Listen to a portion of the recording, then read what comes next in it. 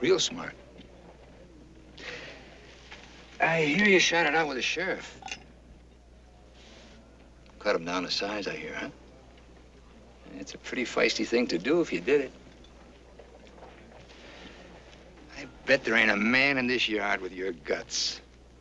If you did it. Uh, well, I was, uh, I was drunk. And I still beat him to the draw, by God. ain't that something? You must be the goddamnedest shot in this territory. Just one best. The sheriff. He must have been crazy to tangle with you, huh?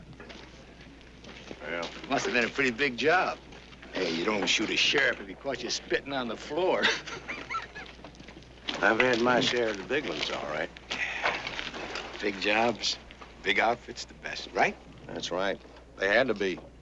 You're only good as your worst man. Well, me, I never could afford to be choosy who I had on my side. I'd wind up with some of the worst lame brains you ever saw. you know, this time in Nogales. Hey, Four Eyes. Well, this time in Nogales, there was this little Hey, bank. Four Eyes. We're tired of coming to you. This time you come to us, you yellow bastard.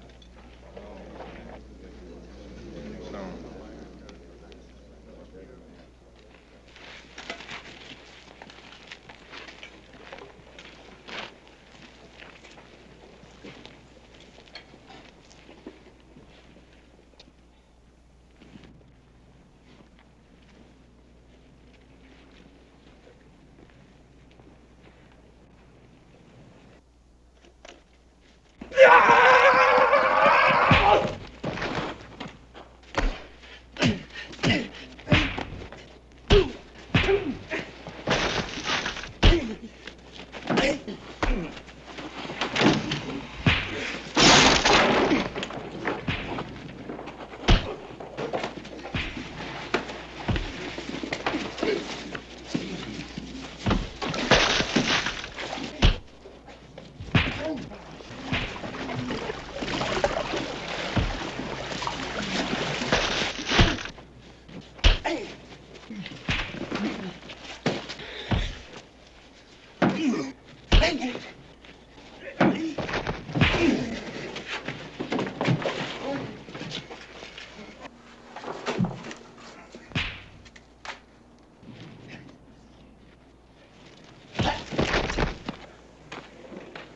right, come on. Break it up. Get back. Come on, get back.